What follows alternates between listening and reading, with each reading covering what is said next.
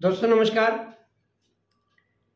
दोस्तों, जैसा कि सबसे पहले मैं रिक्वेस्ट किया करता हूँ कि मेरा जो ये चैनल है, इस चैनल को ज़रूर सब्सक्राइब कर लें और पास में जो बेल आइकन है, उसको भी दबा दें ताकि आपको हर बार वीडियो टाइम पर मिल सके। दोस्तों आजकल हमारा खान पान इतना बिगड़ गया, हम ध्यान नहीं देते, हम सिर्फ़ टेस्ट पे ध्यान देते हैं। और बाहर का खाना ज़्यादा खाना पसंद करते हैं। जब भी हम बाहर का खाना खाएँगे, आप मान लेना कि आपके एसिडिटी ज़रूर बनेगी, कब्ज भी रहेगी, पेट भी गुड़गुड़ करेगा खाना भी आठ घंटे तक नहीं पचेगा। आपको ऐसा लगेगा जैसे अभी अभी खाया है। खा तो लेते हो ले आप, लेकिन आप परेशान भी होते हो। तो इसका असर सबसे ज़्यादा लीवर पे पड़ता है। और लीवर खराब होने के बाद में ये मानिए कि धीरे धीरे हमारे अनेकों बीमारियाँ घर कर जाती है। सबसे पहले हमारे अंदर खून की कमी आएगी। तब हमें पता चलेगा, अरे, खून की कमी आ गई। और उसके बाद में आपके लीवर पे सूजन आने के बाद में सूजन जब आएगी, तब आपको पता चलेगा कि हमारा लीवर खराब हो रहा है। लीवर खराब होने के क्या कारण है? ज़्यादा नहीं, आपको मैं थोड़ा सा बता रहा हूँ कि जो ज़्यादा शराब पीते हैं ना शराब पीने से लीवर खराब होता है। ज़्यादातर लोग शराब पीते हैं और अपने आप को बहुत दिखाते हैं कि हम बहुत ज़्यादा शराब पीते हैं। उनका हाल देखिए, लीवर खराब हो जाता है। दूसरा कारण जो होता है, वो होता है जंक फ़ूड खाना। हम उल्टा पुल्टा भोजन कर लेते हैं, उसके कारण भी हमारा लीवर खराब हो जाता है। तीसरा कारण होता है कि हम तली भुनी चीज़ें बहुत ज़्यादा खाते हैं तो तली भुनी चीज़ें खाने से भी हमारे लीवर पे बहुत ज़्यादा बुरा असर पड़ता है। चौथी चीज़, हम कोल्ड ड्रिंक पीते हैं बहुत ज़्यादा। बाज़ार में जाते हैं, कोल्ड ड्रिंक पीते हैं, बड़ी मतलब अपने आप को बहुत बड़ा मानते हैं कि हम कोल्ड ड्रिंक पी रहे हैं, लेकिन आपको ध्यान नहीं है, कोल्ड ड्रिंक पे पीने से आपकी आंतों आंतें सुकड़ जाएगी और लीवर पे असर पड़ेगा। तो ये कुछ बातें हैं जिनको आपको ध्यान में रखनी होती है कि लीवर खराब ना हो।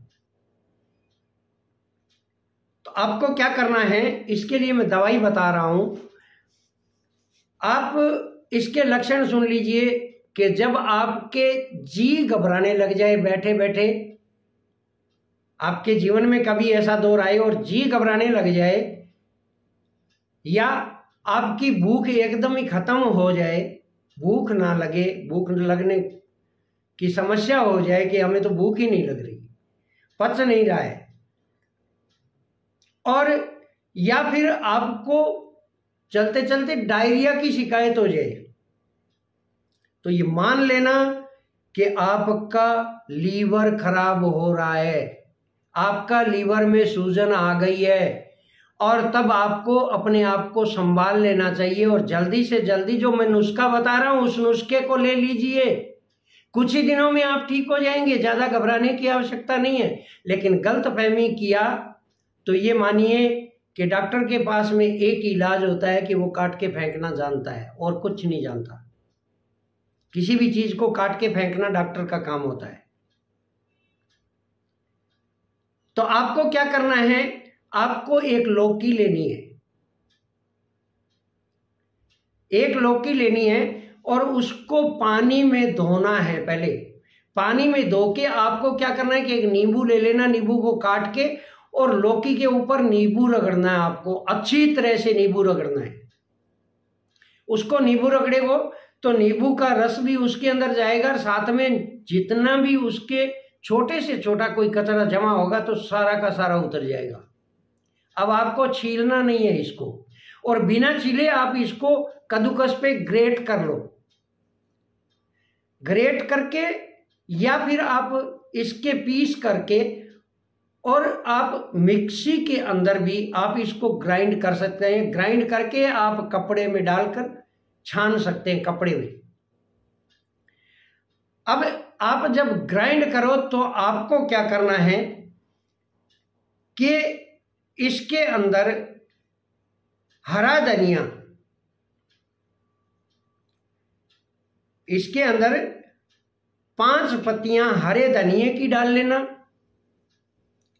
पाँच पत्तियाँ इसके अंदर तुलसी की डाल लेना। पाँच पत्तियाँ इसके अंदर पुदीना की डाल लेना। और ग्राइंड कर लोगे तो सबका रस निकल जाएगा। इसके रस को आप निचोड़ लो। उसके बाद में इसके अंदर तीस मिलीलीटर आप गिलोय का रस डालो। तीस मिलीलीटर गिलोय का रस डाल लो और स्वाद के अंदर, अनुसार एक छोटा सा चम्मच आता है, उस चम्मच से एक चम्मच आप उसके अंदर सेंधा नमक डाल लो, काला नमक डाल लो। आपका ये पेय तैयार हो गया है। आप इसको सुबह खाली पेट लेना है। आपको खाना खाने के बाद में नहीं लेना है, खाली पेट लेना है इसको।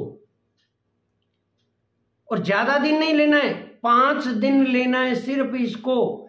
पाँच दिन में आपके लीवर को डिटॉक्सीफाई कर देगा। आपके लीवर को बचा लेगा।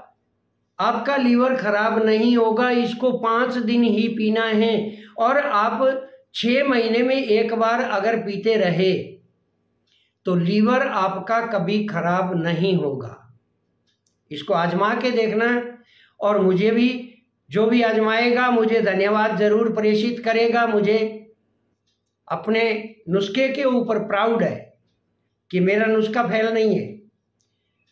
तो दोस्तों नुस्खा बनाना जिसका लीवर खराब है, आप नुस्खा बना लेना, पी लेना, ठीक हो जाना।